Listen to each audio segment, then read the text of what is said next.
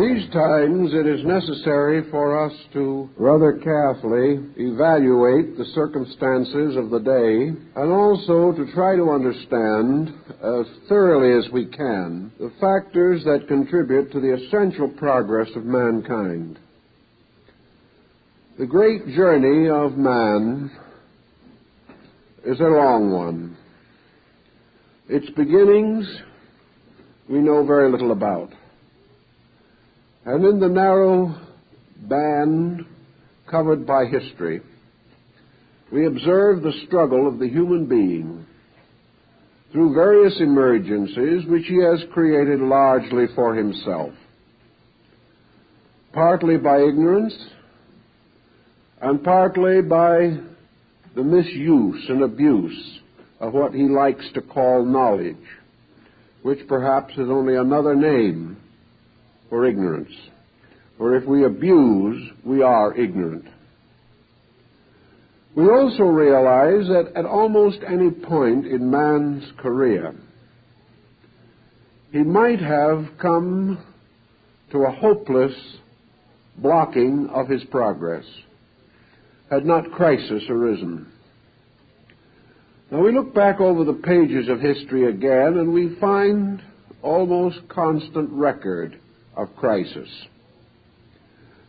Various nations in various degrees of cultural development have come again and again to those critical periods in which it seemed for a moment that their national destinies were lost. In these critical moments, violent, often vicious circumstances arose. And in due time, there also rose a remedy against the immediate evil. The individual found some strange providence that seemed to guide him out of emergency and into a new line of endeavor, a little closer to reality.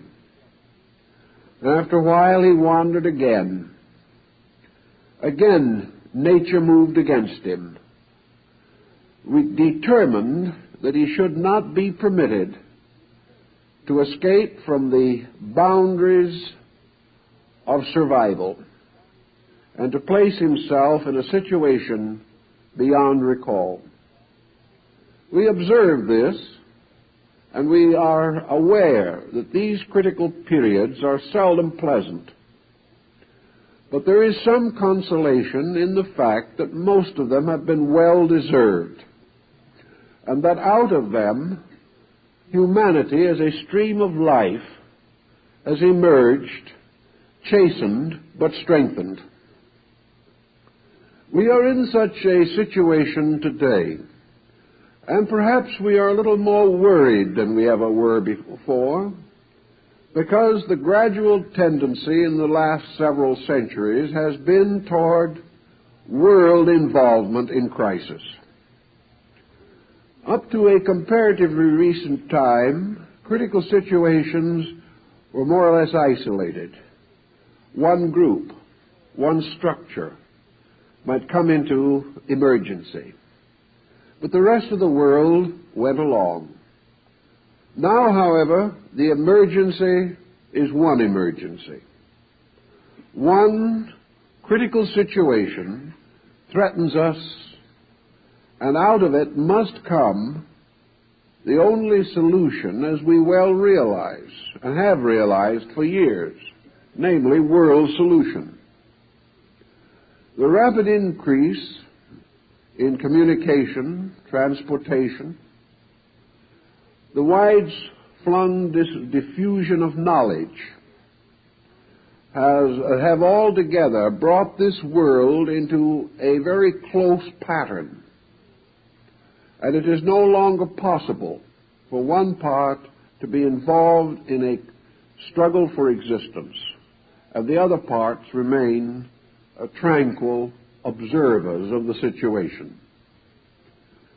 Today, we stand in great need for re-evaluating most of the the patterns and practices with which we are now involved.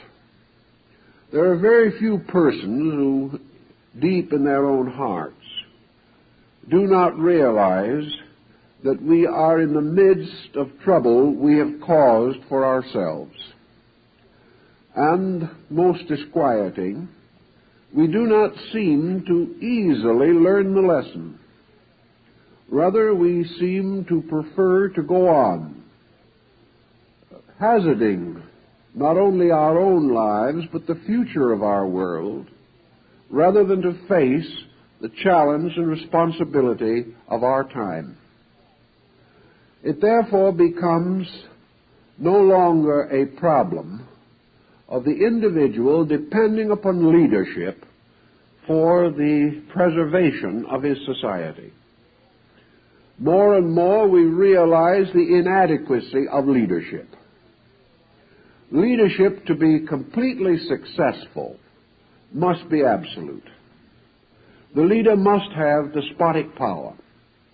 He may be a benevolent despot, but unless he has the authority, he cannot rule, and he cannot govern any longer without the sanction of the governed. This sanction is no longer available to leadership. And in our generation, the hyper development of individualism is resulting in the collapse of the theory of leadership. We become more and more critical of leaders. And as the problems extend themselves into greater areas, we become convinced that leaders are unable to solve these problems. That the leader has not yet appeared who has the understanding and wisdom to lead the whole world to security. And even if he did arise, there is very little probability that the whole world could agree upon his virtue or his policy. We are therefore checkmated in the traditional way in which we used to live. We are no longer able to blame the leader. We still try to. But at the same time, we begin to recognize that authority is becoming more and more limited. What authority we have had has been largely abused. But at the same time, the constant limitation of authority means that we can no longer depend upon strong minds to lead weak minds. We discover that the strong minds are not strong enough really to lead, and the weak minds are not weak enough to follow.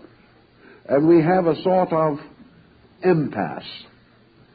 And out of this impasse comes a tremendous amount of individualism, also resentment, pressure, and, as we observe it in private life, frustration.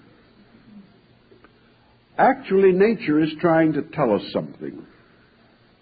It is trying to point out to us that authority is like parental guidance. Children growing up in a well managed home accept parental leadership up to a certain time in life. Then the child must become an individual. If it fails to do so, it disgraces itself and also adds a tremendous burden to the responsibility of parenthood. The parent is not supposed to continue to administer the life of an adult. We are in the same situation. Mankind, in one way or another, is growing up. And as the child grows, it resents more and more parental authority. Yet, unless this child is also equipped to accept the responsibilities of maturity, it may well have a disastrous career. This is the situation collectively which we are approaching very rapidly. So the natural answer must be where are we going to find the directives necessary to take the place of despotic authority. And this brings us directly to our principal subject this evening, namely the religious problem. If we go back over the history of religion, we will realize that down through the ages, it has exercised almost complete dictatorial authority over its followers. This is true of one religion as of another. The priests of religion were regarded as peculiarly venerable persons, and for both secular and sacred reasons, uh, their authority was unquestioned. They had the right to determine not only the beliefs of men, but very largely the patterns of human conduct. Most religions include a revealed code of laws. These laws became the absolute statutes for those who belonged to the religion or accepted it. Even today, in most orthodox religious groups of the world, the member is still under the control of what we might term dogma. And dogma is very largely traditional authority. It is an absolute dictatorship administered by an earthly priesthood. But it is assumed that this dogma is inevitable and infallible because it arises in the consciousness of God. Therefore, against it, there can be no reservation or revolution. Many religions have already vanished from the world, and others are in various decay, states of decrepitude and decay. Others are still comparatively vital. But all religion, up to the present time, or most religion up to the present time, has been established upon a foundation of authority. It was an authoritarian partner of the state down through the centuries. That which the religious body declared to be lawful, it was the duty of the state to enforce. It was also the duty of the state to protect the religion and to make certain that no foreign faith or foreign influence should adulterate the religion of that particular people or state. In the last hundred years, religious authority has also begun to dwindle. More and more, the power of religion over the destiny of people has changed from a factual, literal, temporal power to a psychological, theological, persuasive influence. The breakdown began in the Western civilization with the Reformation. And from that time on, we have had rising sectarianism within the structure of Christianity. Other religions which have influenced Western thinking have also felt numerous reforms.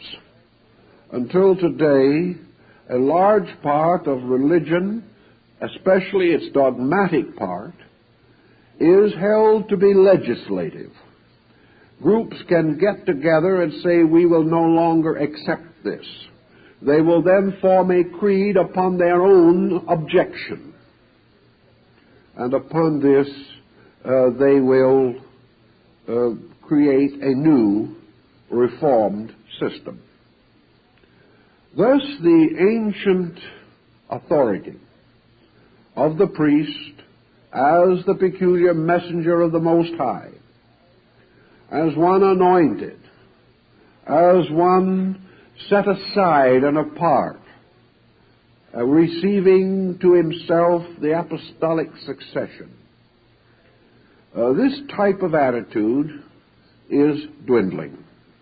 And while it is still held in some areas, its authority, even in these areas, is substantially weakening. and where religion is reactionary and refuses to accept the challenge of rising human individuality, the strength of the religion is undermined by uh, an allegiance from members who do not actually conform.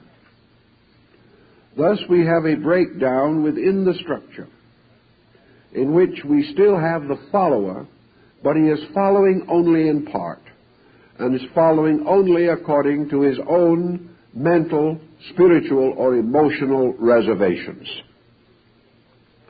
Now, it is obvious that with this situation, uh, religion is also essentially and structurally weakened.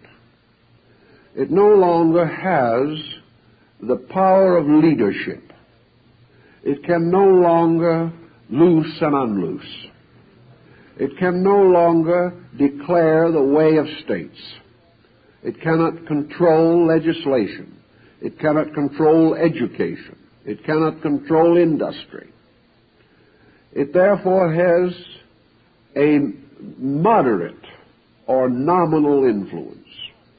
And even where the sect is still extreme, its influence is less extreme because it cannot hold the full allegiance of its followers or members to these extreme positions. Out of all of this has come a point of view which has gradually led many people to feel that religion is, in a measure at least, private business. That religion is no longer of the power of a faith to, to dictate the destiny of its millions or hundreds of millions of followers. Today, faith is more or less a moral influence, a guide, a source of certain psychological strength, something that we are better with than without. But it is not a dynamic. So where we lose the power of the state to dictate the laws of men, and the power of religion to direct and control and even chastise the souls of men, we lose another bracket of leadership. And we find the individual drifting further and further toward a complete humanism. But man by nature, has to admire something. He has to have a strong belief in something. And in the 19th century came the beginning of a new structure of belief.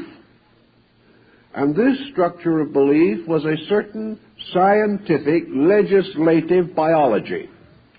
Out of this problem came, through such leaders as Darwin and Huxley, the beginning of our concept that man's final ruler was natural law. That if you wish to call this natural law God, well and good. If, however, you wish to consider this law merely an automatic process existing in space, this was also well and good.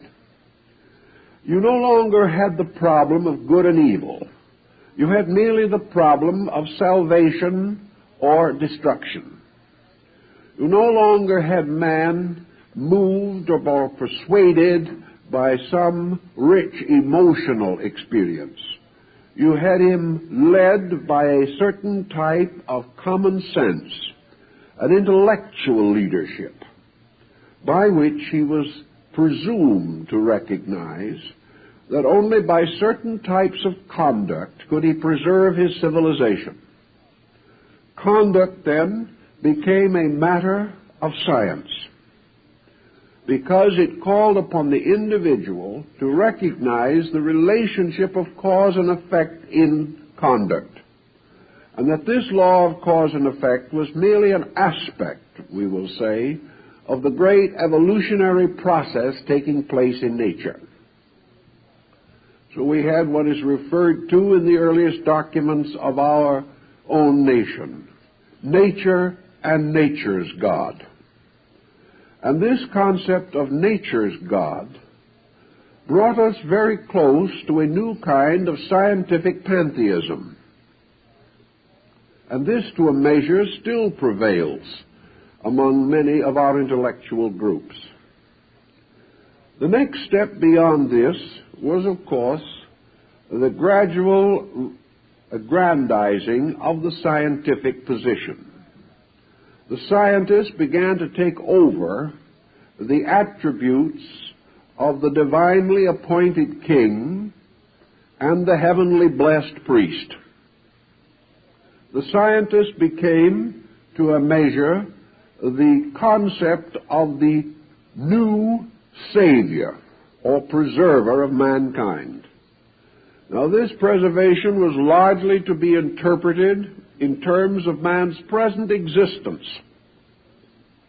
Science was to bring heaven to earth for man, to turn his mind and his eyes from any invisible universe beyond the mortal ken, and focus these eyes directly upon the possibility of building here in this world the noblest monument to progress that humanity had ever seen. Thus, progress became the new universal concept of the divine will. Uh, science became the new instrument of absolute knowledge. And in this emancipated world of things, the scientist was a little lost at first because he really had not expected to inherit either a crown or a tiara. He had been more inclined to suspect that he might inherit the Inquisition or something of that nature, as he had done on previous occasions when he had been what Lord Bacon calls a birth out of time. That is, before the world was ready for him.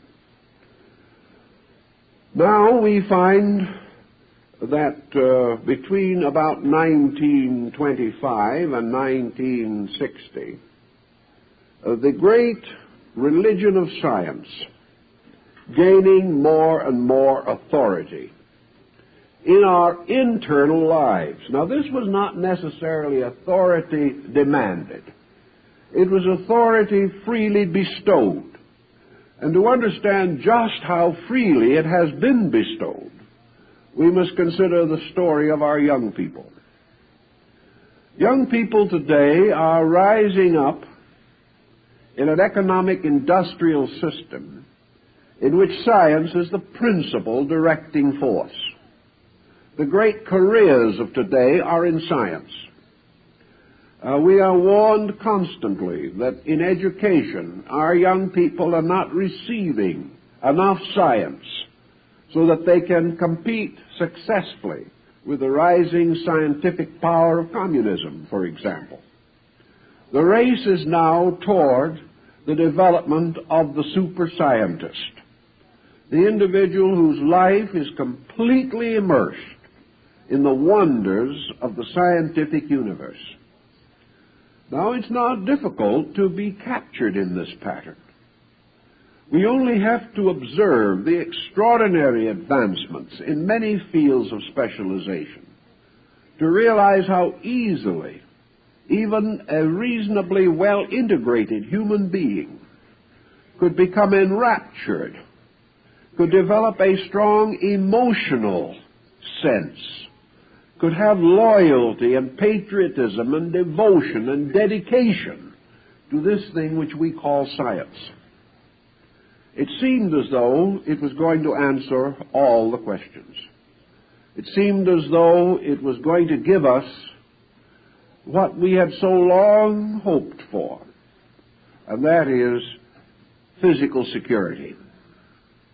At the same time, it enabled us to free our minds from certain unfavorable aspects of previous leadership. We could begin to say to ourselves that we are not only free from the despotism of hereditary princes, we are also now free from the dogmatic despotism of theology. We no longer find ourselves limited and restrained intellectually. There is no longer a penalty upon thinking. The individual not only considered himself as addicted to a new and wonderful world, but in many, many ways he compared this new world with the old and found the new world better. This was especially easy, of course, with younger generations who had no memory, actually, of the better things of older times and could only read the atrocities recorded in history. Now, in the midst of this wonderful reintegration around the new concept of value, the scientific world has fallen apart. This was bad. When we say it has fallen apart, we don't mean that it is at the end of its career, or that it can no longer contribute any good to mankind. But as a great image, a great image of man's hope, as the mysterious figure of the great God of the future, science has lost stature very rapidly. And today we are confronted with the extremely obvious situation that science is now one of the principal dangers to security and to the survival of our way of life. The good that science can do, we applaud. The mistakes it makes, we begin to see. And the moment we begin to see mistakes, it is like finding feet of clay on our God. This tremendous devotion, this complete and soul rapture with which young people have turned to science. This is breaking down because science is actually failing these young people in the problem of their own survival. It is giving them a career, but not a life. It is giving, giving them a job, but not a purpose. It is giving them a certain amount of comfort, but they are compensated or penalized by being in the midst the worst insecurity the world has ever known. Now, this leaves us in a rather dilapidated situation. One kind of God after another has failed us. It isn't really ever, has never been a God that failed us. It was our concept of that which was important that failed us. We gave far too much power and authority to the Roman Caesars. And Rome paid for this by the loss of the Roman Empire. We gave very much too uh, much devotion and allegiance to the medieval popes. And as a result of that, we had the Reformation and the gradual loss of the prestige of theology. We gave too much exaggerated allegiance to science. And now again, we discover that our exaggerations have gotten us into difficulty. So we look around us again and we try to figure out the best we can what kind of a world we live in. More than this, where are we going to turn for directives? Our politicians are not getting any better. Our uh, theologians are not getting any wiser. Our scientists are not getting any more ethical. And our businessmen are not getting much out of anything except money and taxes. This gets to be rather frustrating. That this tremendous struggle, this vast effort that we have made down through the ages seems now as though it is to bear little fruit, and that it truly is turning into a withered vine just about the time when it should bear its noblest fruit. The individual has other ways to look, of course, and one way we have had a tendency to look in recent years has been to look over the fence and see how some other people lived. This has led to a term which we call interreligious understanding. We're beginning to suspect that perhaps somebody is better off than we are. We also are being able to enjoy the fact that other people suspect that we are better off than they are. And as a result, everybody is now looking into everybody else's backyard in the hope of discovering that distant pastures are greener. This is a good step. For the first time, we are beginning to face up to the fact that all the world has the same problem. And that if we would unite our resources, perhaps we could advance something a little nearer to solution. That somewhere lurking among, among the beliefs of mankind, there might be a good one, one better than we have suspected. Or perhaps out of several weak ones we can mold one stronger one, in which the weaknesses of one are counteracted by strong points in the structure of another. It looks, therefore, very much to many people that the only answer to religion at the moment is to try to find out where it is being well practiced and where it is producing constructive results and examine in that direction. This, however, can lead rapidly to another mistake. Because in our immediate haste, which is the keynote of the moment, we are quite likely to reach desperately toward some other faith. When we do this, we lose perspective again. We become too inclined, perhaps, to criticize everything in our own and accept without reservation everything in someone else's simply because it is strange and different or because it has not the peculiar weaknesses or difficulties with which we are most familiar. Out of all of the uh, hoping and struggling that we have done, there has slowly shifted to the top of things perhaps the most neglected area of, of thought the world has ever known, and that is philosophy. Up to five years ago, philosophy was considered to be little better uh, than a nasty word. Uh, people of good breeding did not use it. It was better to be caught swearing than using the word philosophy. We were told that if it was put on the title of a book, it would not sell. We were told that if it was mi- me- uh, mentioned in mixed company, it would result in a deadly silence. We were also warned that it suggested mental hardship that philosophy suggested thinking, and never in history has thinking been generally popular, and in this generation less popular than ever before. This is why we're in the problem. Either thinking must become more popular, or we will be in a worse problem.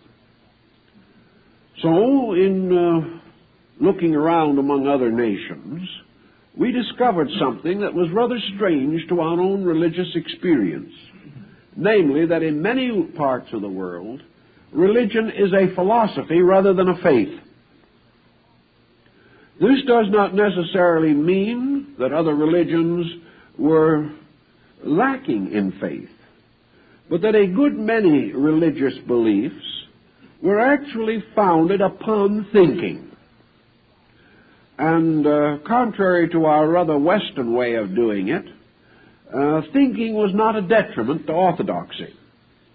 In the Western uh, world, when you started to think, uh, your religious friends began to shake their heads.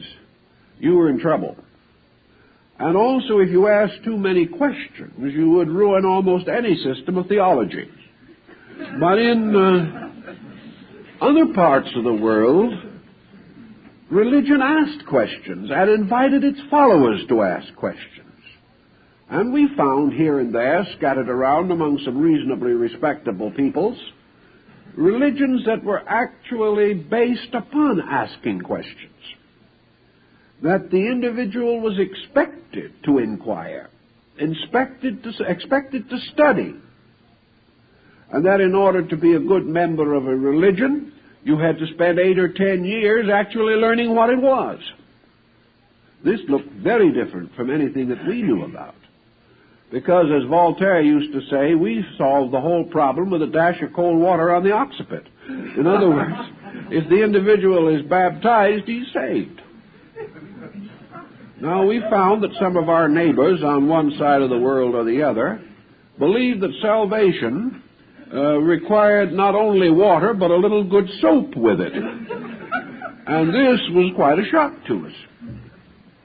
So you can't blame a number of people for turning rather enthusiastically toward religious philosophies that not only ask questions, but are not afraid to answer them. And we began to develop what most of our more conservative friends uh, would regard as, as a most suspicious tendency to heterodoxy, or perhaps even to heresy. But it felt rather good being a heretic, and so folks kept right on meditating according to yoga, or sitting quietly and disciplining their minds by Zen, or attending small groups of Vedantic uh, students, and uh, we're no longer surprised that some of the Eastern religions sent missionaries over here to save us. Course, we had been so long engaged in saving them that we uh, didn't get around to realizing that we were in poor shape ourselves. But out of the contact that we had with religions primarily outside of our own, I think our main uh, reaction was the discovery of religious philosophy. We began to think of religion more as a series of answers uh, to pressing questions, especially questions relating to conscience and conduct that religions and philosophies demanded something of the individual beside his economic support. That these faiths demanded the example of his character in action. And it dawned upon us that many religious people of the world firmly believe that religion is a way of life according to character and conduct. Well, this came home to us as a bit of a surprise, but it led many people to the re-evaluation of the place of philosophy in knowledge. Uh, ten years ago, psychology was very proud of the fact that it had escaped the boundaries of philosophy. That a psychologist uh, was now a free soul in a branch of learning which he was creating and dignifying in his own way. The last five years, more and more psychological journals and technical papers in the field uh, are taking the attitude that the psychologist is proud of the fact that psychology is part of philosophy. This is indeed a new point of view. But after all, uh, psychology can help you part of the time, but without philosophy, you're in trouble most of the time. So the uh, understanding of philosophy became uh, more or less necessary. So, with great enthusiasm, we suddenly remembered that we had a number of philosophers in the West who had been resting quietly in cultural limbo for the last 500 years. Uh, when we got out of the Dark Ages, we also got out of philosophy. And uh, with the exception of a few illustrious names, which we could quote but never read, uh, we didn't know too much about philosophy in the West. So we began looking into the various contributions of unusual people, ranging over perhaps 2,500 years of Western culture. Plato broke into the daily newspaper. Aristotle became a subject for Rotarian discussion. And things that had not happened for a long time uh, suddenly started happening in our modern world. But here we were in a real trouble. Perhaps in a worse trouble we'd ever been in along the way at all. Because now we had probably 500 philosophers to choose from Most of them did not agree with each other. And many of them were in open conflict with each other. And, and uh, most of these different schools had only a few surviving representatives, and these in turn were rather, shall we say, abstract personalities wandering around college campuses in a daze. We didn't have very much in the form of an integrated pattern of what philosophy means. We had come to the conclusion that it was merely a basis for intellectual argument that it was a sharpening of the mind and the wits, but that it had nothing to do with the way you lived. And uh, for years, philosophy was studied but never applied to the daily problem of the individual. It was refreshing, therefore, to find that some of the earlier philosophers, especially, did make definite applications and men uh, belonging to such schools as the Platonic and the Neoplatonic and the Neo-Pythagorean were persons who lived what they believed. And this was what we were beginning to suspect was necessary. But philosophy did not offer us uh, very much of an immediate hope or help. It was something we would have to come to sometime, but uh, the time was really not yet. The emergency was such that we could not solve it completely by philosophical means. That is, the average person did not have the instruments necessary to do this. So nature and nature's God, to quote again the Declaration of Independence, uh, seemingly was precipitating us into a dilemma. We had come almost uh, to the end of a series of mistaken policies. And the end that we were reaching was the end of personal impoverishment of character. We are still rather seriously worried about the ethical decline, which is now being noticed by even those with the greatest degree of scientific astigmatism. They still now begin to see that there is real trouble. No one at the moment seems to know what to do about it. But I think the answer that finally will have to come is that the real purpose behind the emergency is to gradually shift the responsibility for personal growth upon the person where it belongs. I doubt very much if we will ever again pass through great periods of religious dictatorship. I don't think we will have the type of religious experience we have had in the past. I don't believe the spiritual good of mankind will be trusted to individuals who must become the leaders and guides of the rest. We will undoubtedly continue to produce great religious people. There's no question about that. But these people will be respected but not worshipped. The time has come when the entire problem of man's spiritual life must be solved by the person. Now, he has available to him most of the instruments of solution. He has in the world today, with its rapidly increasing uh, contact an opportunity never before possible to avail himself of the best available knowledge and also the opportunity to orient his point of view in the largest area of knowledge that man has ever possessed.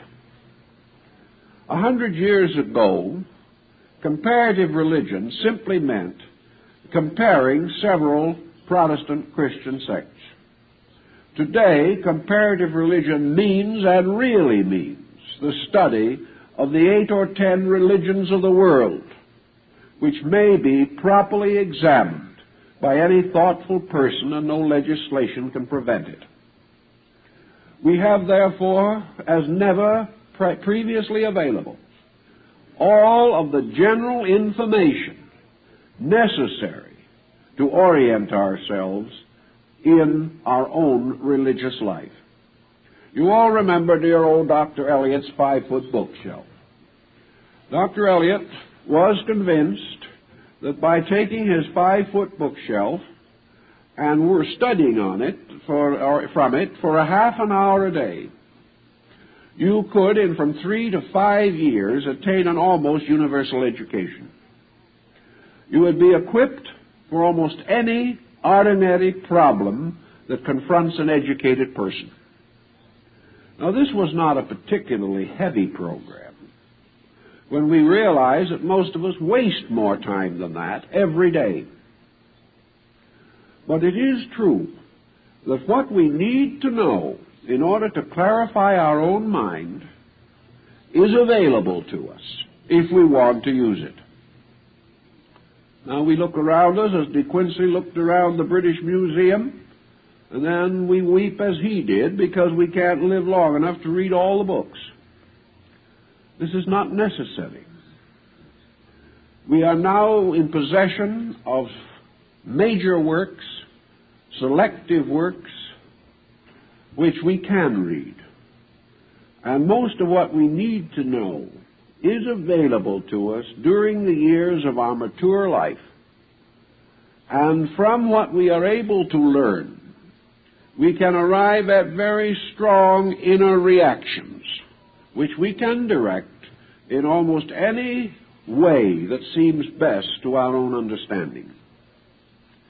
So out of all of this long path of things and the confusion and the chaos and the crises that have gone before, we stand for the first time, perhaps, in the actual presence of the possibility of a religious life based not upon dogma or birth or conversion, but based upon the fact that the human being is by nature religious and that therefore he has a spiritual potential within himself by which he can live a proper life under the leadership of a consciousness aware of the basic needs of the human personality.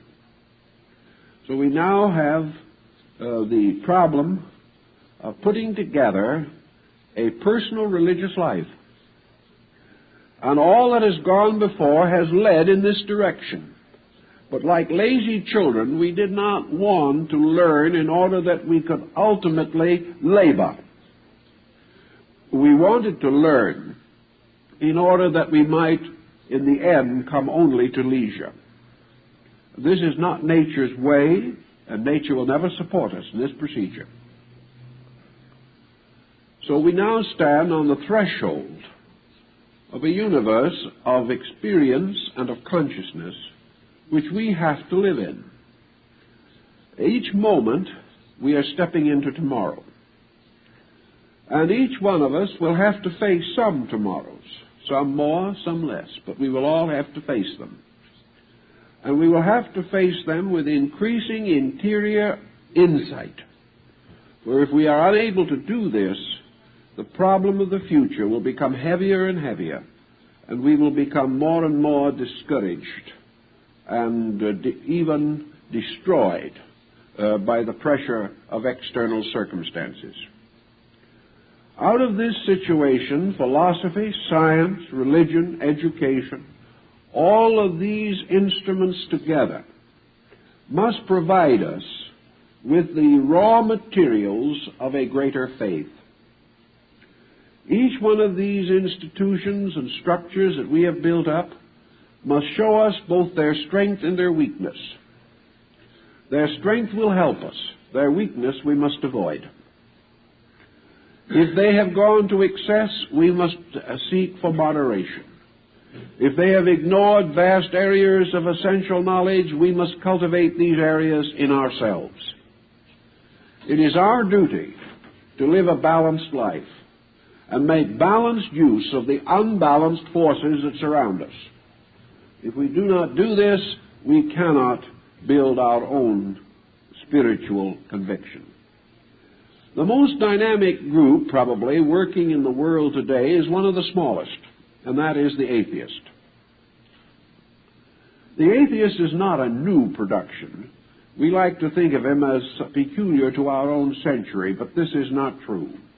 There were atheists in ancient India, and there were atheists in Greece. There were a great many atheists in Rome. And I'm afraid there have been a great many atheists in religion, although they didn't actually come out and proclaim themselves as such. Uh, today, atheism is now linked with a political point of view and it has gradually gained a small but intense following. Atheism has the same peculiar type of tactic uh, which has distinguished communism for a long time. The communist may be a comparative minority, but he is a dynamic minority. He is a minority that relentlessly and continually presses its own purpose. Our intellectual atheist is in approximately the same type of mind. And we know that uh, most of the personalities in communism are self proclaimed atheists.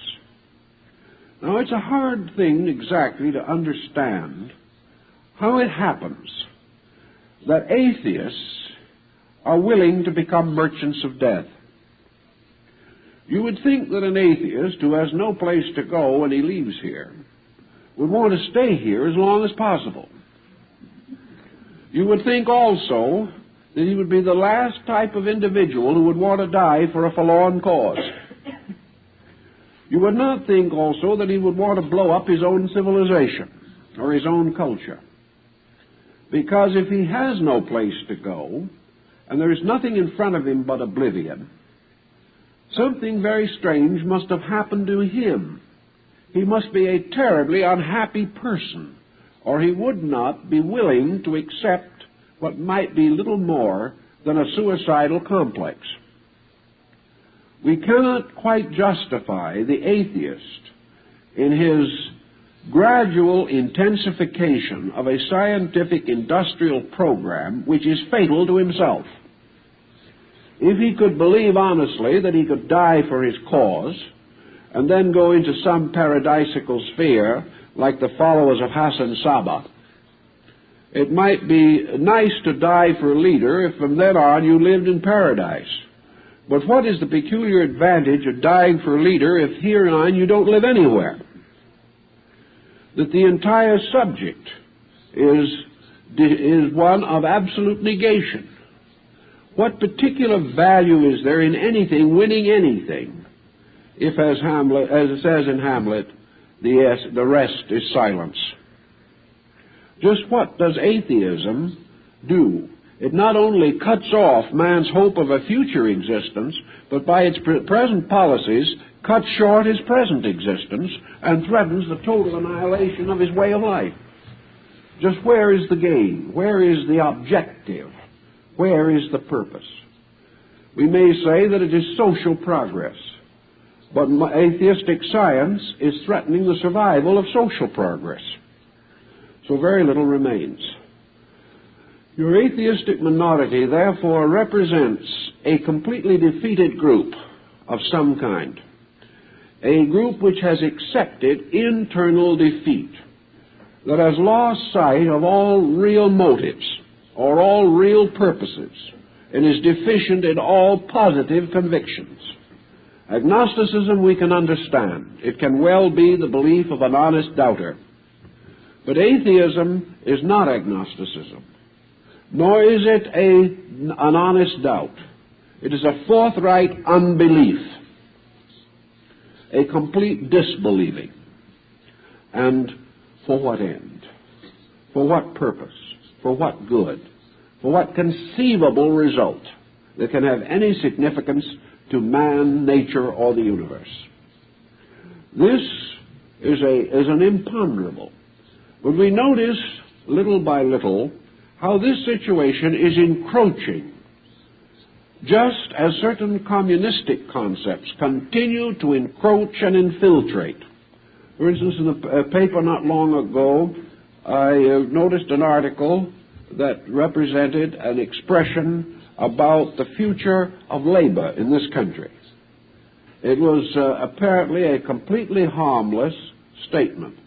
to the effect that in a very short time, man would be able to reduce his problem of labor so that he could work for nine days and then rest for five, thus creating a new concept of leisure.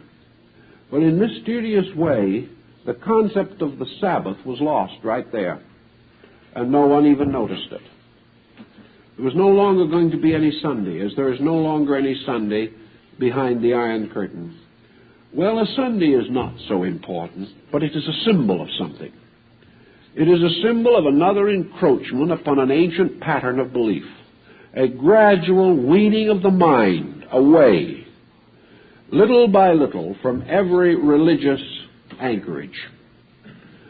Now, there can well be, even among communistic people, a sad story of what religion did to them, of the difficulties they faced, and the hardships they went through because of the cruelty of both church and state. But this does not justify the, the destruction of a basic idea merely because that idea has been perverted.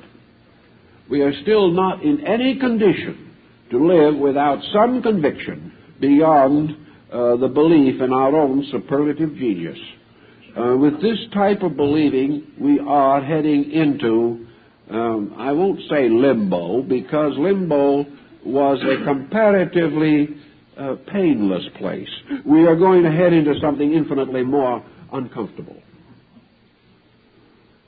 So, we come to the final situation that all of this conspiracy and much more that we can't possibly summarize in the time that we have is bringing everything back as a responsibility to the person.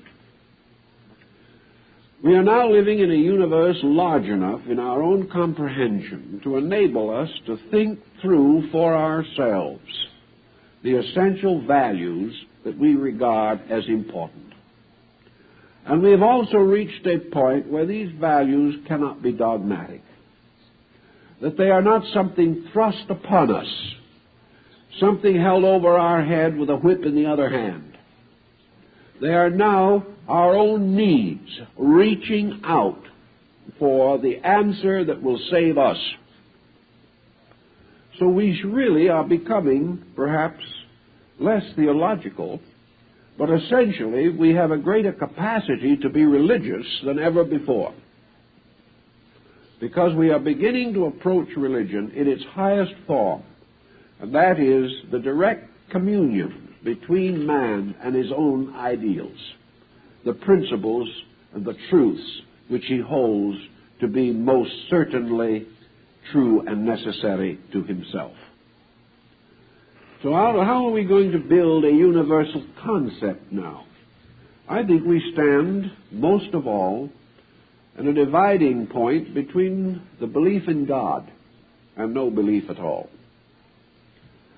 Science has very largely tried to destroy the God concept in the universe, but it has not succeeded in doing so. For, for principally and factually, the more we discover about the universe, the greater our original question becomes. On us many answers to great questions. Actually, science has enlarged the great question for which we have no answer. This suddenly means to us that whereas a couple of thousand years ago the universe was so small that a couple of Caesars and Charlemagne could well nigh have built it, the universe today is infinitely greater. There was a time when it was honestly believed that a mortal man could rule the universe. Today we know this isn't so. Today we have come to know as never before the magnitude of this universe. If this is an accident, the accident becomes more fantastic every moment. If this is a machine, the machine transcends any concept of machine that we have ever known or ever thought of. If this is merely a continuance of blind force, blind force has, has developed extrasensory perceptions because there is no evidence of blindness in the great forces that move existence. Out of the entire pageantry of increasing knowledge, the great question of where did it start just gets bigger.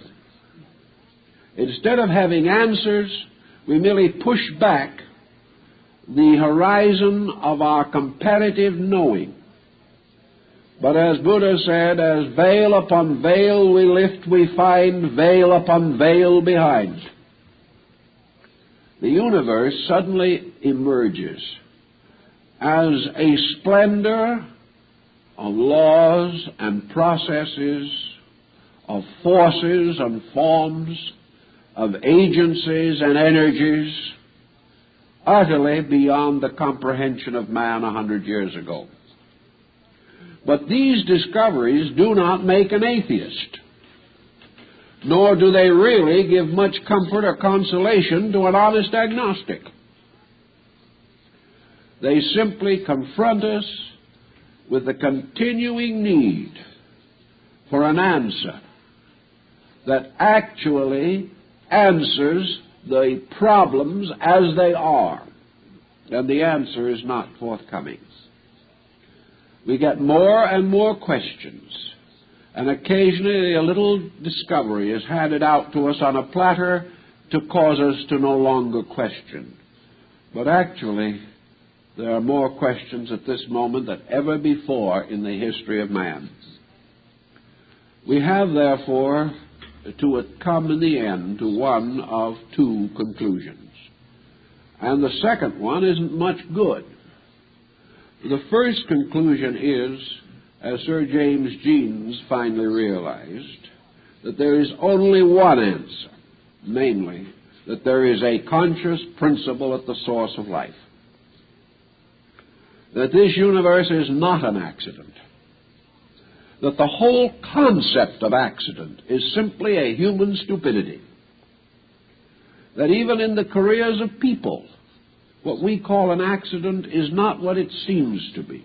And certainly there is no record that a series of accidents could bring forth a galaxy. We study these uh, factors as we can see them. We realize the infinite pageantry of orderly processes we suddenly realize that we are living in a universe which becomes, as far as we can see, the only staple thing in existence. We've come into the presence of wonder after miracle. And we are expected to view this tremendous fact without responding to the instinctive and inevitable power within ourselves which would of itself bring us to our knees. No longer to our knees in uh, servile acceptance, but to our knees in simple, natural humility.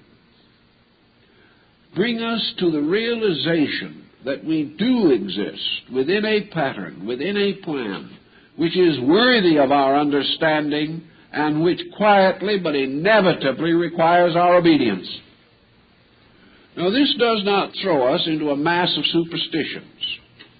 We do not have to become concerned about an elderly gentleman with a long gray beard who tosses the sun off in front and the moon behind. We are no longer required to assume that the earth was slipped under man at some remote time when he started to fall so that he wouldn't keep on falling. These things we do not need. But we do need to realize that this vastness which we can perceive, apart at least, and this infinite order which we can behold, apart at least, inevitably requires, as the uh, ancient Chaldean said, the existence of a principle of principles a power over powers, a tremendous purposeness unfolding itself eternally through this multitude of ever evolving worlds. This we have to face. And this perhaps is the beginning of our new religion. This is the beginning of a series of simple moral conclusions built firmly upon everything that we know. See, one of our earlier mistakes was to try to make religion strong by weakening every other form of knowledge. To try to preserve religious dogma, if necessary, by the sacrifice of fact. This we have learned to be a mistake. We now know that the unfoldment of religion must be an unfoldment in harmony with fact. That we cannot afford to believe anything that is contrary to the operations of laws which we can actually experience. There may be much more than we can experience, but we have no right to assume that that which we do experience is not a lawful part of that which is still unknown. So our philosophy and our religion must be kept sufficiently open so that into it can be built all new knowledge without interfering with honorable belief.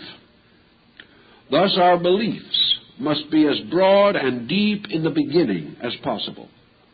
And there can be no dogma, there can be no prejudice which can prevent us from accepting that which is known to be true. If therefore faith builds in harmony with the known fact of things, this faith will not run into the difficulties that we have previously encountered. We can therefore continue to glorify the cause of all things and the source of all things and to recognize that new knowledge is merely a further revelation of universal glory. That there can be no conflict. That when we discover that there is something smaller than these minute atoms with which we are now concerned, this does not overthrow theology. It simply gives us another new and deeper understanding or insight into the mystery of universal religion. So we can, uh, to a measure at least, benefit by some of our Buddhist brethren who at an early time decided that there would be no conflict between religion and science. And therefore, there has never been a scientific discovery that conflicts with Buddhism, because Buddhism simply won't be conflicted with. It has no dogma. Buddha, by his own psychological and almost scientific mind, realized the danger of dogma and realized the fact that finally man must experience that all true knowledge is good. And that the individual who has the greatest understanding of facts has the greatest capacity for religion. If this gets to be rather fashionable in the West, it may help us out of one of our problems. It will certainly end uh, squabbling over things which are not important and will allow us to face the universe in the search of God rather than to lock ourselves in a mass of small problems. When we were a small people living in small towns, in small countries, where our knowledge was seldom extended beyond the ABCs and our only text was the Bible, where man worked from dawn to dark to merely provide himself with the necessities of life. We lived in a small world. We thought small thoughts. And we could argue and wrangle over small matters. But this has changed. We now live in a large world which demands large thoughts. And large thoughts and little thoughts cannot live in the same mind. If the little thoughts dominate, we're a bigot. If the big thoughts dominate, we move victoriously toward true religious insight. Now, if we get to the point, then, where we can begin to recognize the principle of deity as universal consciousness. We do not know what universal consciousness means. We do not know what human consciousness is. But we know that there is a mysterious something of aliveness in us by which we are self-aware, by which also we plan destiny, by which we love and fear, hope and think, by which all our various attitudes and opinions are motivated and vitalized, and by which we can say we are a person. This mass of energy within ourselves, a luminous kind of self-knowing energy, we like to think of as consciousness. We also like to assume that consciousness directs action. That if man did not have a life within himself, he couldn't move. If the universe did not have a life within itself, it couldn't move. Corpses do not continue their normal living functions, and a lifeless universe will not. We also know from our researches that planets and suns and worlds are born and die. Therefore, life and death as we know it exist in space. Consequently, there is consciousness, which can depart from suns and moons and planets in the same way that it can depart from human beings. Therefore, there has to be a principle of life. Otherwise, this principle of life could not be either nearer nor further nor could it be present nor depart. And in this tremendous recognition, we begin to see the magnitude of a proper God realization. This God realization manifests through its most natural and obvious attributes, not through uh, particular persons. Its priesthood is the stars and the earth and the mountains. For everywhere, nature itself bears witness. It is nature vested in the robes of glory. It is nature, the high priest of the divine mysteries. And we perceive everywhere these laws, these qualities, these ethics and uh, cultures essential in nature in the universe. Otherwise, they could not be experienced by any single creature fashioned out of this common stuff. Thus, we have the basis for morality, for ethics, for culture, for belief, for vision, for hope, and for faith. Because we live in a universe in which all of these can be justified by facts. The great fact being the sovereignty of the total within which we exist. Now, if we wish to assume this, it is only one very simple step to Plato's next concept. Namely, that this consciousness, being the total and sole director of all that exists, is in a strange way the only and complete despot here is the only actual authority. There is no authority other than the authority of cosmic consciousness itself. Now, cosmic consciousness, from what we are able to learn, is no respecter of persons. It does not compromise its own principles to please any set of rules set up by man. Cosmic consciousness does that which cosmic consciousness, experiencing within itself, knows to be true and inevitable. Therefore, cosmic consciousness becomes its own only critic, its only censor. Nothing can govern it but itself. And that which it wills, that which it determines, that which it resolves, out of the infinite totality of its own nature has to be.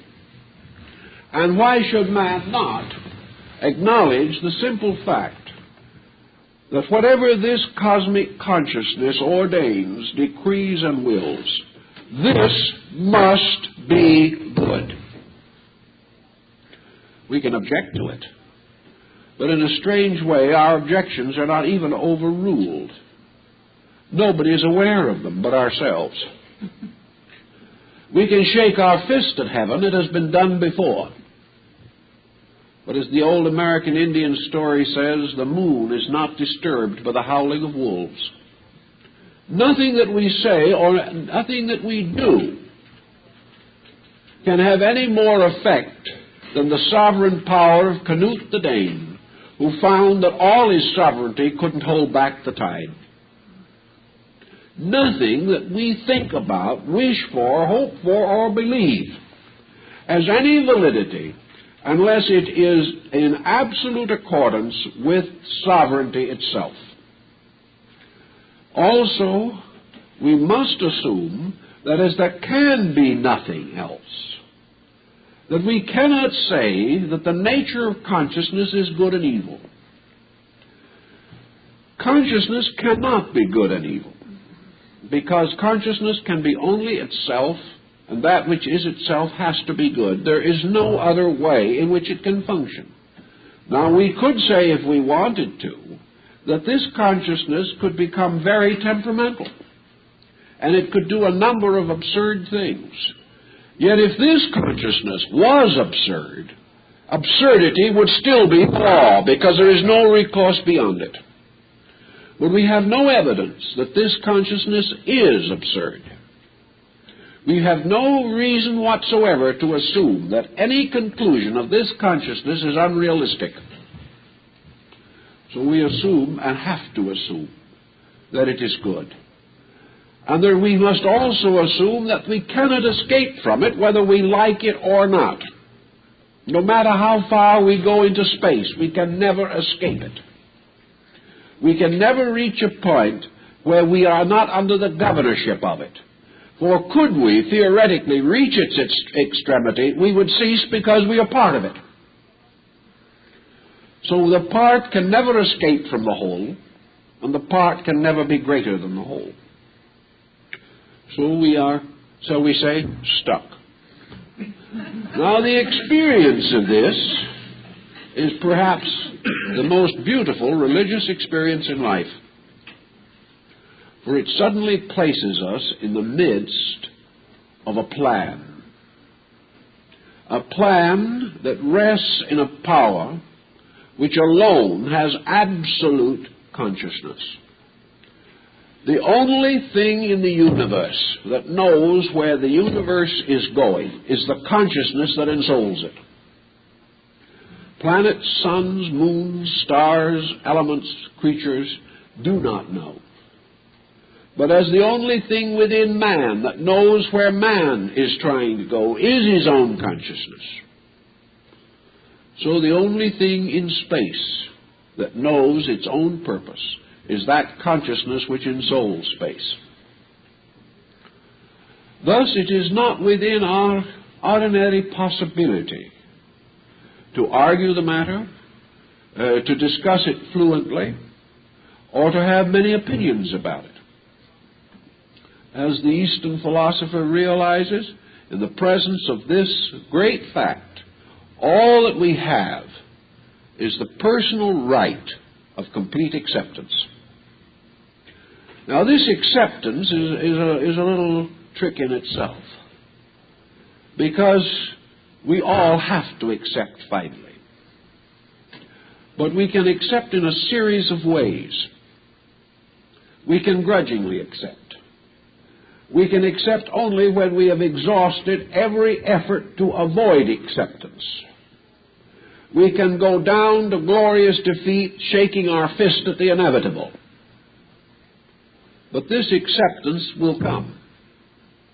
And the wise person is the one who accepts in the first place. Whereas the Greek philosopher pointed out, the difference between a fool and a wise man is simply this that a wise man loves to do what a fool has to do. and this is our problem in space. We are confronted by this inevitable. And here is the beginning of our religion. Our religion must be perhaps the simplest the world has ever known. For all that we have to have to make this religion is that we shall ensoul knowledge with faith. In other words, without faith, knowledge is meaningless.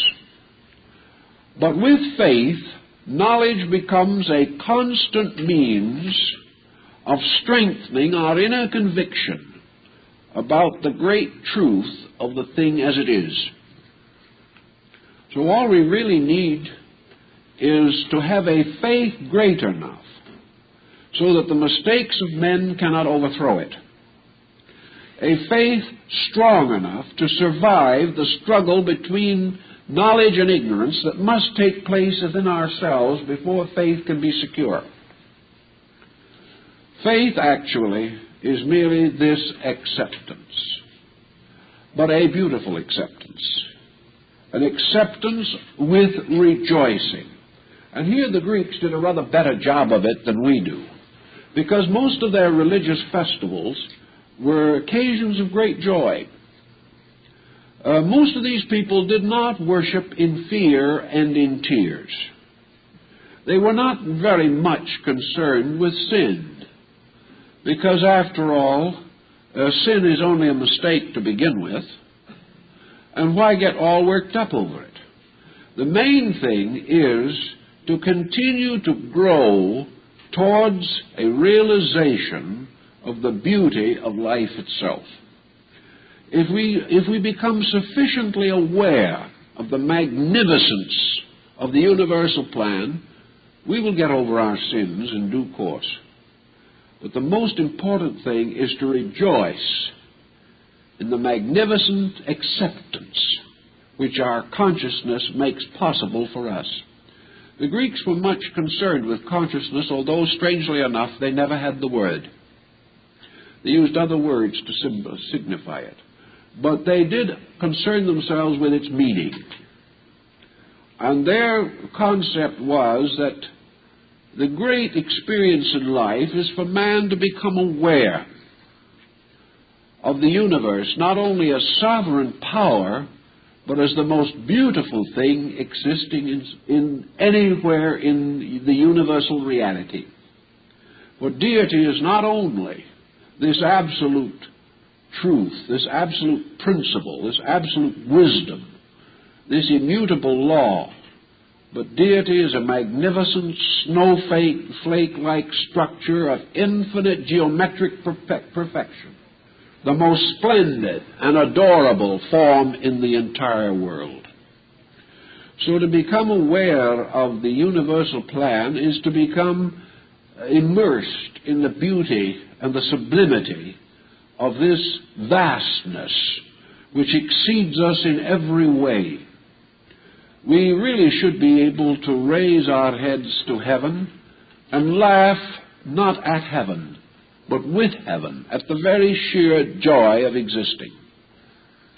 And this should not be the laugh of a hypocrite, nor should be the laugh of a tyrant.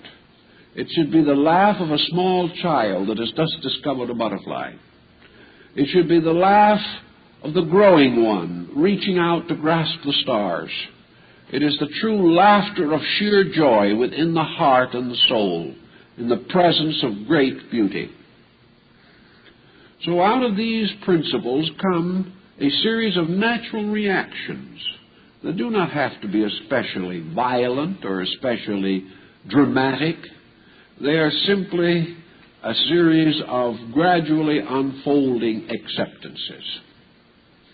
Now, when man comes to this conclusion about the universe, he naturally asks about his own relationship to it.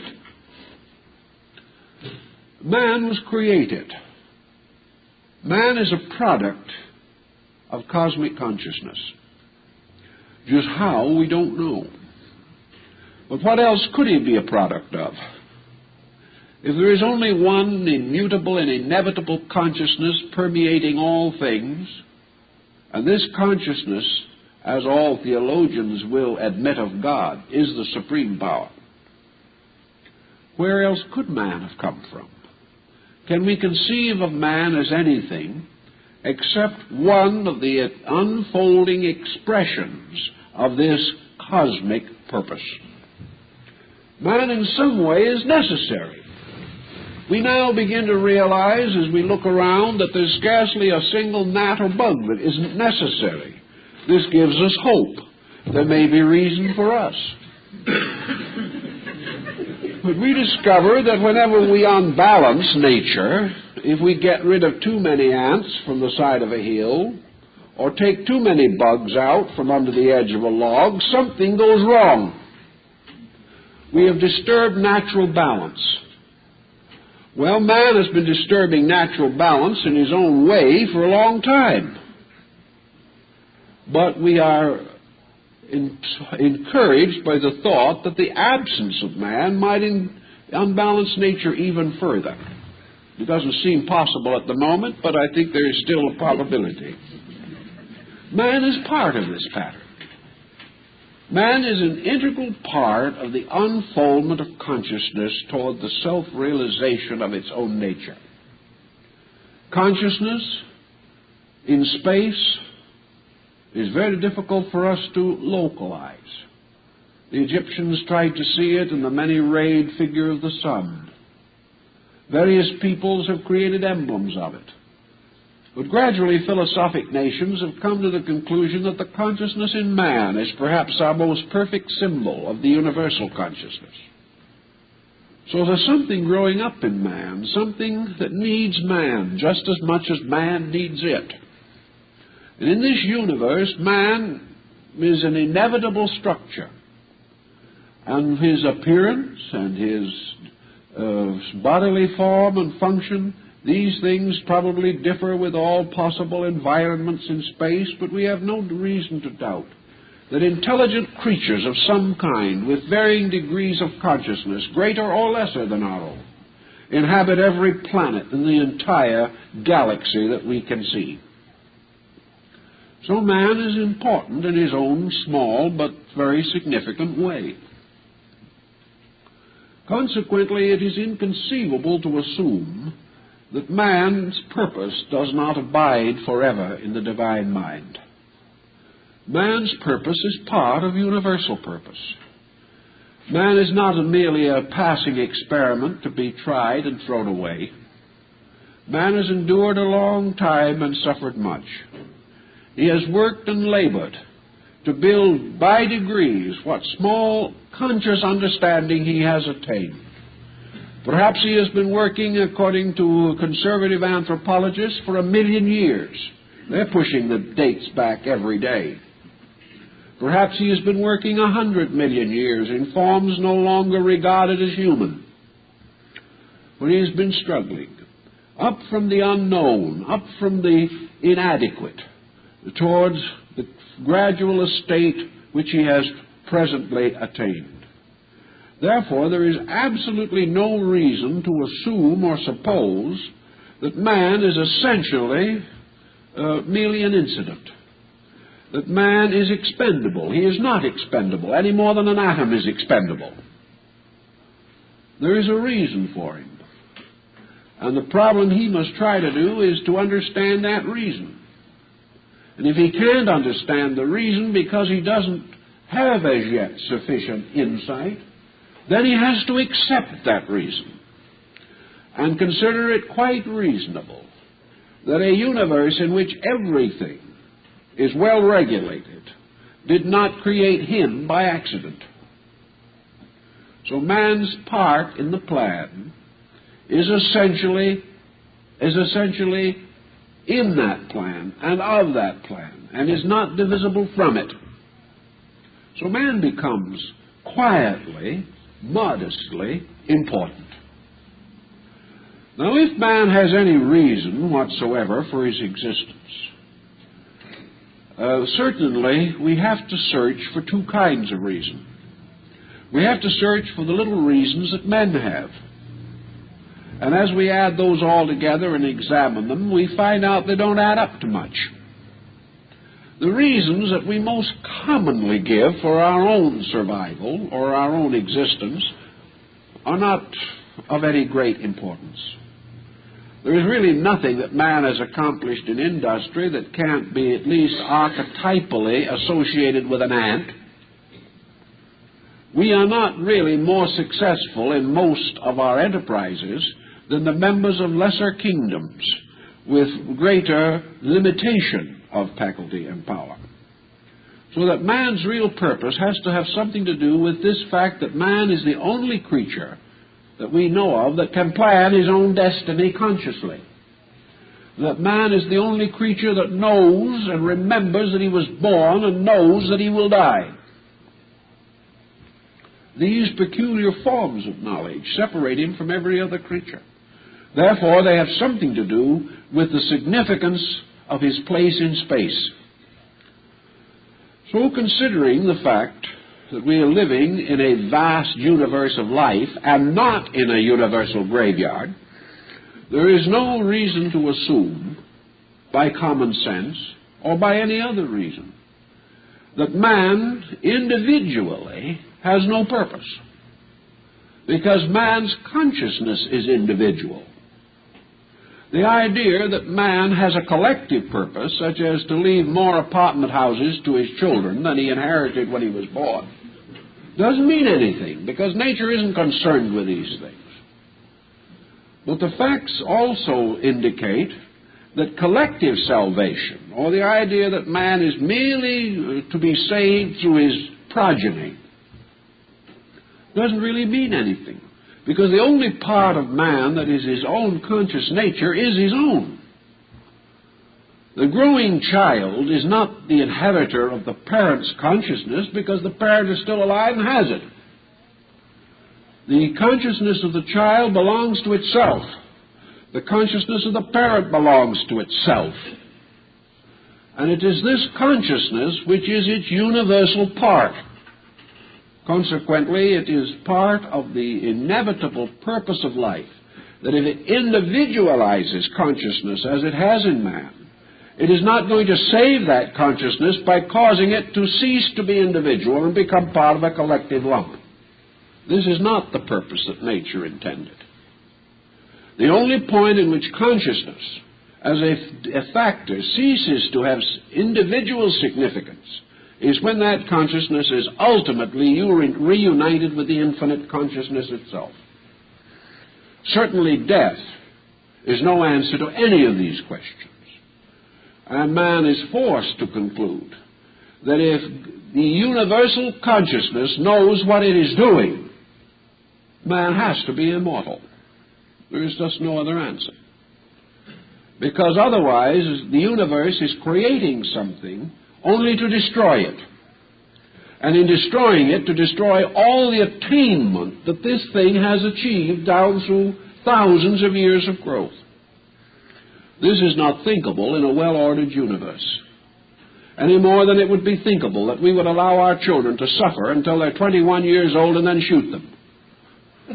This does not make sense in our lives nor in the universe. We are compelled to assume that immortality is inevitable. Now, we are not sure just what we mean by immortality. Perhaps by immortality we mean the survival of our own consciousness in universal consciousness. Perhaps we are forced to admit with Aristotle that this is not absolute.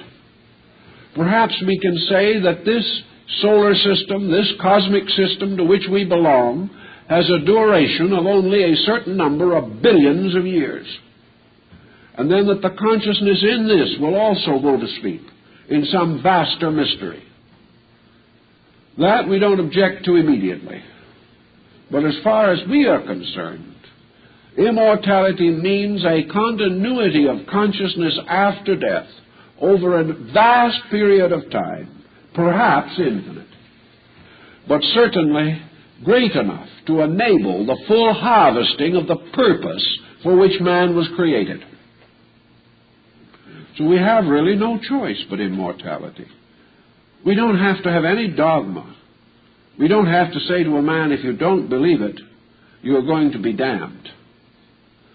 Well, all we have to say to him really is, if you don't believe it, you're just going to be stupid. Because it makes no difference whether we believe it or not. And we have damned many people merely for the sin of stupidity. And sometimes the damning was due to our stupidity, not theirs.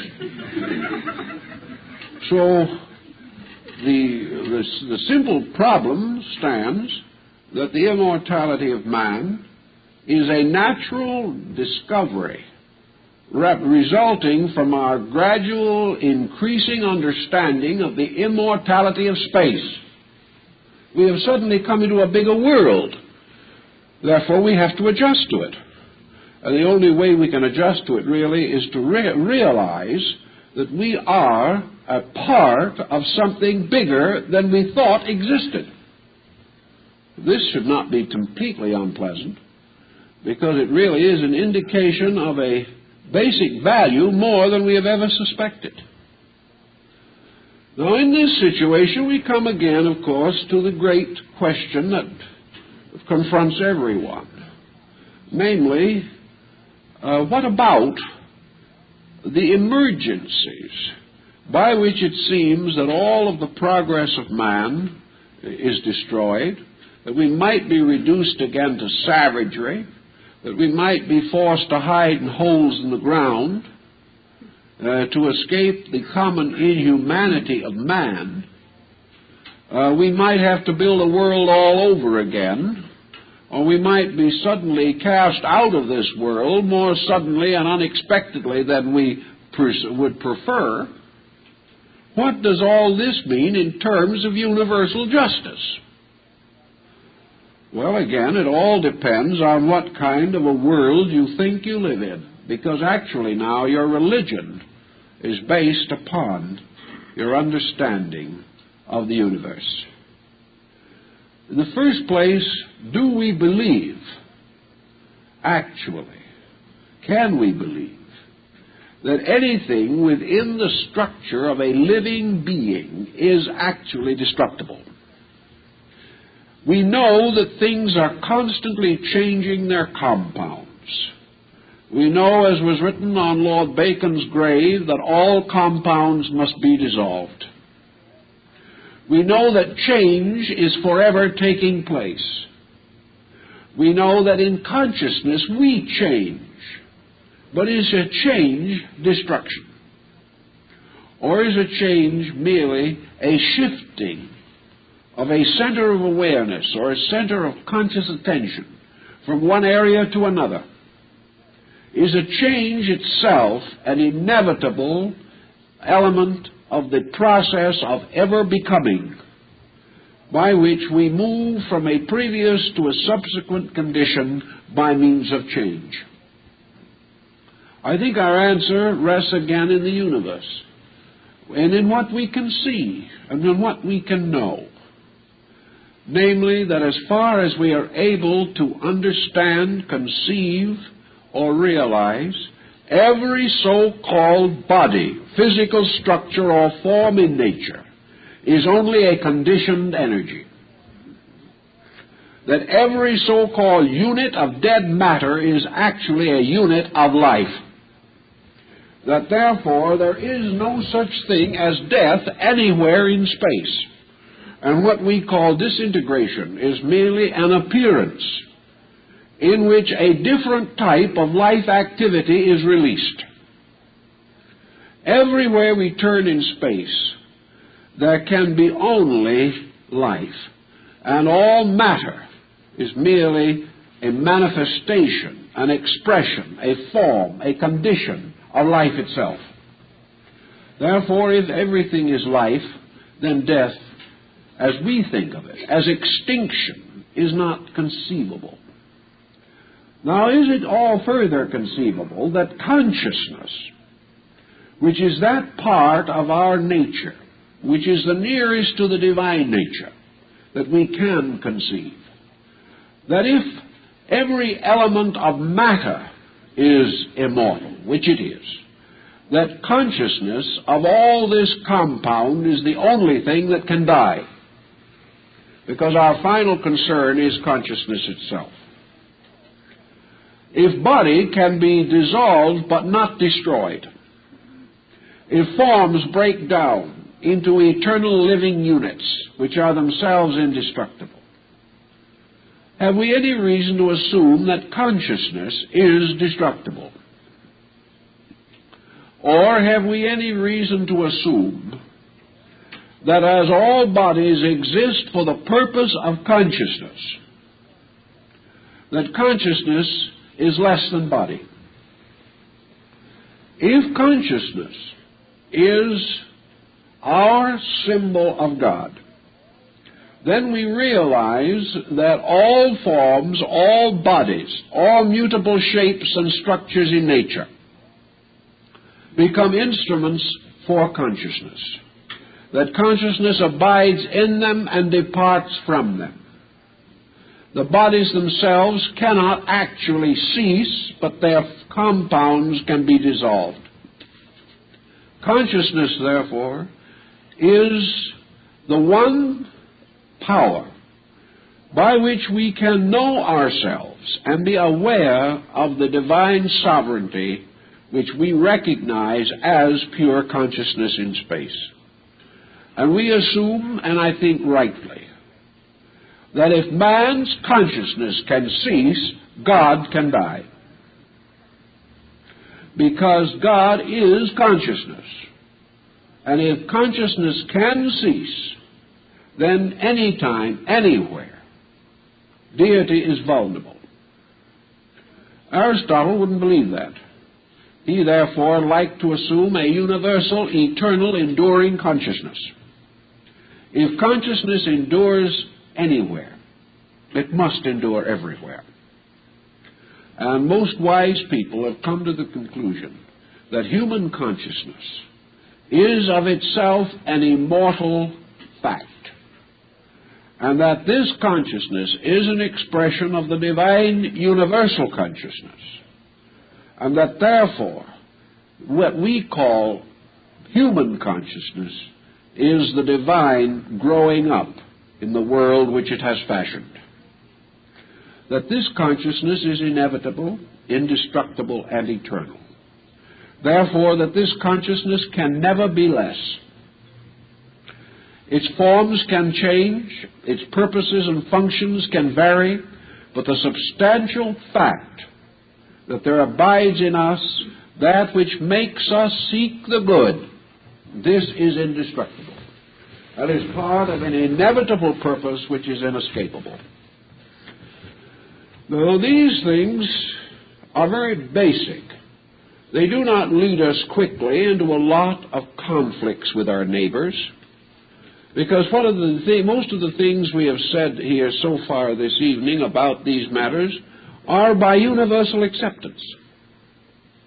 They're not always so stated, but they are so implied. Therefore, our difficulties do not lie here. Our difficulties lie in a secondary area. Our primary convictions are much alike everywhere. The Taoists, the Buddhists, the the the Orthodox Jew, the Christian, and the Muslim have most of their great uh, spiritual essentials in common.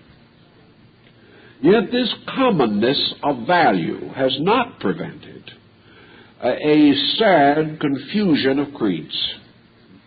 And the only answer is that this is caused by permitting matters of a high controversial and uncertain nature to be given precedent over certainties. And here is where the house cleaning has got to start. Our religion must be something that is so simple and so essential that we can communicate it in a very short time. And that each point that we attempt to communicate will be in conformity with the best religious, scientific, and philosophical knowledge. That we will be speaking only of things most reasonable, completely probable, and we shall speak of them in a manner which indicates our sincerity, but not our dogmatic determination to force anyone else to the same conclusion.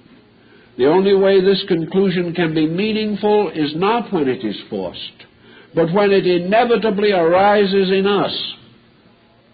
as a medicine for our own insufficiency, then it becomes vital. So we can clear away all of this rubbish that has to do with things that are nice, things that are pleasant, things loaded with nostalgia, things that gave great consolation and some terrible headaches to our ancestors. But these problems are not necessarily our problems. We are gradually coming beyond the time when we can afford the luxury of theological debate. We are coming to the time when there is no use trying to insist that an individual buy a bill of goods. This is not our purpose. The real purpose of religion today is to expose man to the eternal facts that he has been looking at for ages, but which he had never really accepted, because his own training had not fitted him to accept them. But our scientific and cultural training of today makes it possible for us to accept them, and to understand them, and to justify them, and to use science and philosophy to strengthen faith rather than to tear it down. As we stand in the presence of these great laws, we stand in the same presence as all other people of great and good hope. These same laws affect not only man, but every other creature. And we suddenly find that our new religion has space in it for the bugs and the flowers and the trees something we never got around to in the older ways of thinking. We also realize that we are part of a pattern which we can pass on to our children, and they in turn will enlarge it. And we will not be angry with them because they know more than we do. We will rejoice for them that they have grown further than we have grown. All of the competition of creeds which is a total waste of time and one of the most horrible causes of holy wars, the most unholy of all wars, these things are a complete loss of motion, meaningless, purposeless. Our great need today is to find the vast unities of life. And on these unities to build strongly the simple proposition that this vast body which we know has a soul. And that this soul, in this power, this consciousness, is what we have called God. And we have called it God because we considered it to be ultimate good. We have called it God because we have recognized its infinite power. But now we must call it God because we begin to understand its infinite methods and have discovered that in all these methods, the sovereignty of a conscious divine power is everywhere present and clearly indicated, and that every doubt that we raise in our own minds results ultimately in a new evidence to remove that doubt. Consequently, we can build our own religion. We can build a religion that is large enough to include the faiths of all men. We do not need to disturb these people. We do not need to make religious trouble for them. But because of the motion of our world, we are gradually dividing into two groups of human beings. Those who are trying to grow and those who are trying desperately to cling to something old which they love and venerate, which is their right, but which may bring upon them a certain suffering, because it is not adequate to their present need. Therefore, these people are sick, they are miserable, and they are frightened. Their only solution in nature is to achieve the end they were intended to achieve, that fear shall be the spur which will lead them to a further unfoldment of consciousness. For the only answer to fear is consciousness unfolding faith. If we sense this, we realize that underneath all the doubts and fears and anxieties that we may have, there is this vast movement of life which cannot fail, can never be less than itself, is untouched by the political speculations of anybody, is not primarily concerned with whether capital, labor, or management dominates a situation. A pattern which does not recognize east, west, north, or south. It recognizes only one thing, namely that it is growing up through the vast order of creation which it has fashioned, and that all things that live are the instruments of its own purpose, and that what we call our consciousness is our power to be aware because of the universal power in ourselves, the universal power in all other things. If we simply take this we then know beyond any question of doubt that our shadows in space will not be less. That all these things that come and go are merely conditions in the ultimate purpose. And that ultimate purpose is the victory of consciousness over every existing or, in, or conceivable lack of itself or the victory for man in a more immediate sense, the victory of his own consciousness over the darkness of his own ignorance. And uh, to give him the power to do this, one of the old Rosicrucian writers said, the sovereign power and majesty has given man three sacred books, by means of which he might discover the mystery of himself. One of these books is the universe. The second is his own body with its functions and powers. And the third is the sacred scripture of his people.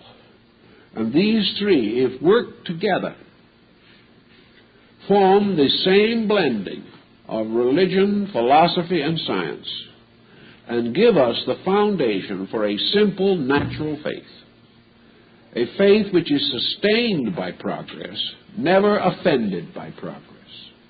For if true progress offends us, our faith is wrong. We must be prepared to meet more knowledge than we have ever known before. And we must meet it with a greater capacity to transform knowledge into consciousness in order that this growth of consciousness may always bring us peace, a peace arising from our realization of the essential goodness of the plan and the power behind the plan.